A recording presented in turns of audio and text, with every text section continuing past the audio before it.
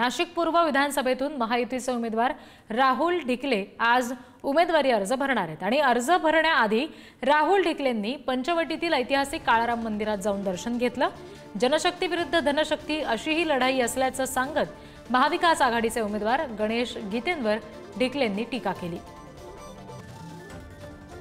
भारतीय जनता पक्षाच्या वरिष्ठ नेत्यांनी मला उमेदवारी देऊन माझ्यावर जो विश्वास दाखवला आहे तो विश्वास सार्थ करण्याचा मी शंभर टक्के प्रयत्न करेल.